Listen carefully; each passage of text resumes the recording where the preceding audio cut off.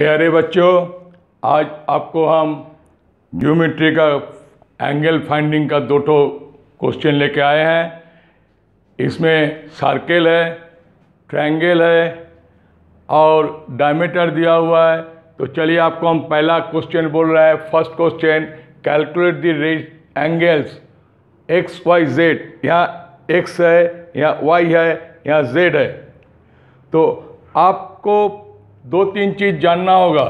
साम of interior angle a sum of interior angle this angle plus this angle equal to this angle sum of interior angle equal to internal opposite angle तो यहाँ पर यदि y है ए वाला x है, जरा समझना कुछ कहते ए एक्स है ए जेड है तो ए वाला क्या हो जाएगा? X plus Z this will be the x plus Z ये चीज़ को आपको ख्याल करना है, क्योंकि ए एंगल का, माने ए एंगल सोचिए this is A B C D लिखे ये वाला ई लिख दीजिए this is E and this is F तो आप देखिए in triangle D C F X angle है जेड एंगल है तो डी एंगल का एक्सटर्नल एंगल जो होगा एक्स प्लस जेड ये चीज़ आपको ख्याल करना है। In the same time A वाला यदि एक्स हो गया तो ए भी आपका एक्स हो गया।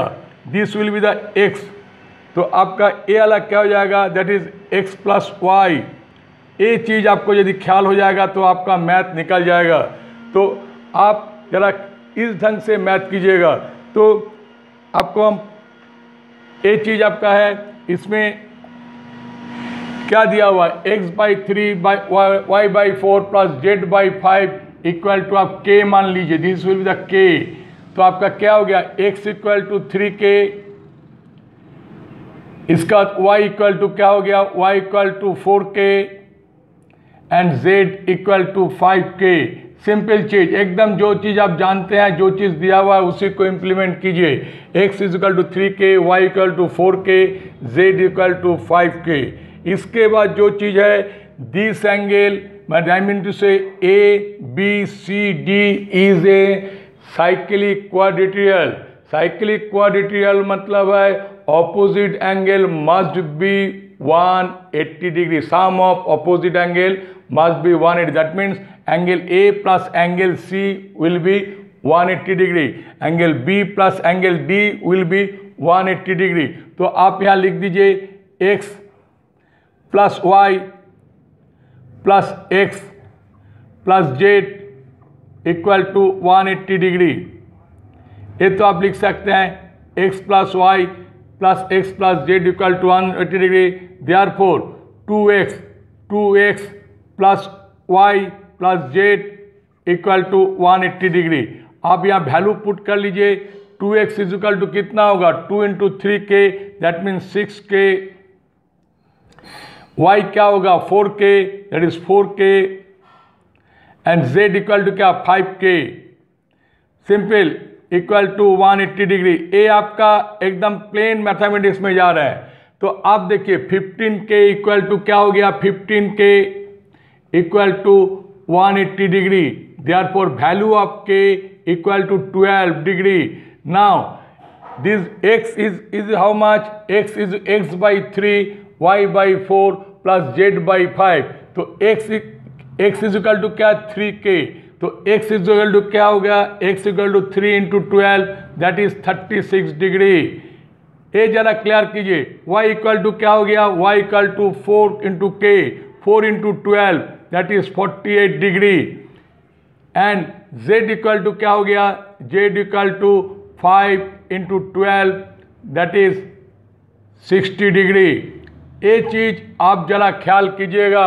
गलती से भी ये तीनों को ऐड करने से 180 डिग्री नहीं होगा, क्योंकि तीनों एक ही ट्रायंगल में नहीं है। एक्स और जेड एक ट्रायंगल में है वाई दूसरा ट्रायंगल में है।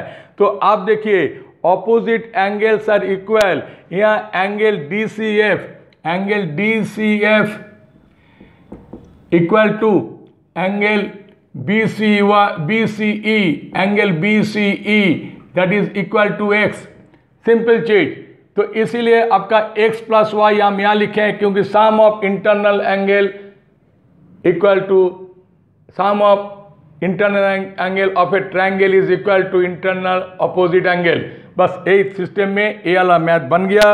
आपको जरा कोई भी डाउट होगा, आप कमेंट में पास कीजिएगा। नेक्स्ट देखिए ए वाला चीज़ का ए वाला ए वाला क्वेश्चन दिया हुआ है। In the given figure C is the side of a regular hexagon now this B and C आप जरा ये चीज़ को ख्याल कीजिएगा। This point is B it is B it is B and is C and this is A it is A it is D and it is A तो आप देखिए and O is the centre A B C D E आप यदि इस ढंग से marking कीजिएगा तो आपका कोऑर्डिनेट भी सुविधा होगा। तो आपका B C is the regular hexagon regular hexagon किसको बोलता है? जिसका all sides are equal all angles are equal तो 60 डिग्री सॉरी हेक्सागन का सिक्स टू एंगल है सिक्स टू साइड है. 360 sixty by six is equal to कितना होता है? ए जरा देखिएगा।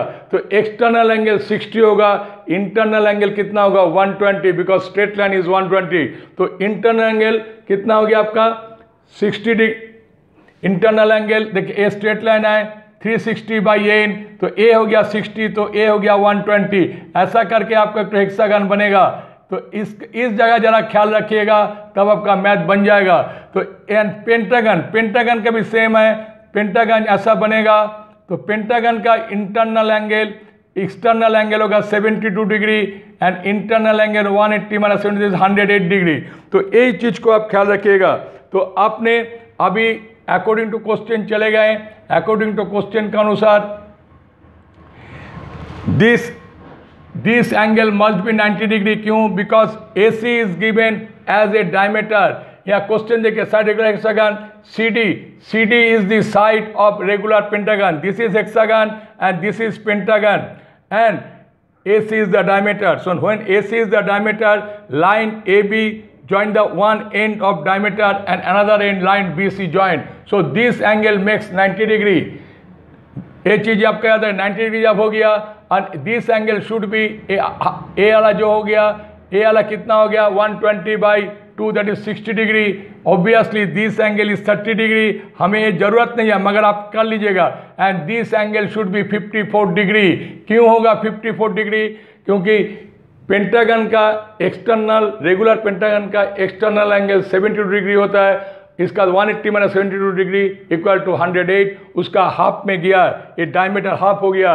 याद रखिएगा, आपका मेंशन करने का आप डायरेक्ट लिख सकते हैं। It is just line is cut like this तो 54 डिग्री होगा तो this angle should be 126 degree क्यों होगा 126 डिग्री क्योंकि एंगल सी और एंगल सी बोलता C D E A E D C is a cyclic quadrilateral तो opposite angle C and E angle C plus angle E angle C plus angle E equal to 180 degree तो वो ए वाला 54 होगा, ये 126 degree हो गया.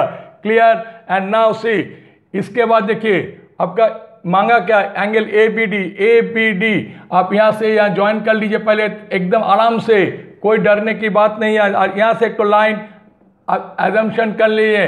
तो ना the this is the angle of same segment this is देखिए A angle of same segment क्योंकि angle A C D and angle A B D both are on A D line and AD line A is one point on the circle and D is on the one point on the circle. So this angle is 54 degree. It is very clear to now.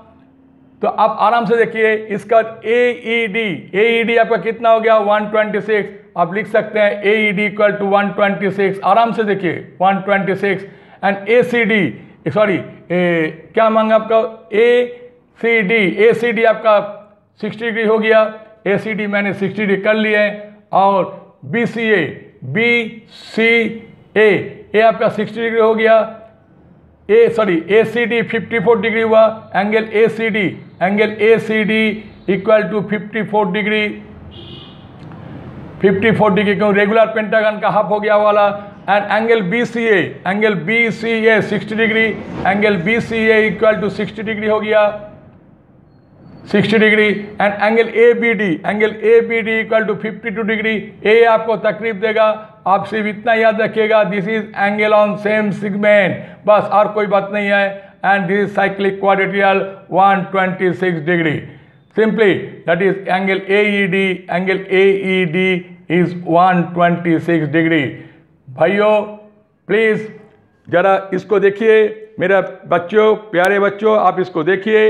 यदि किसी भी doubt होगा, किसी को भी doubt है तो आप कमेंट में ज़रूर कीजिएगा।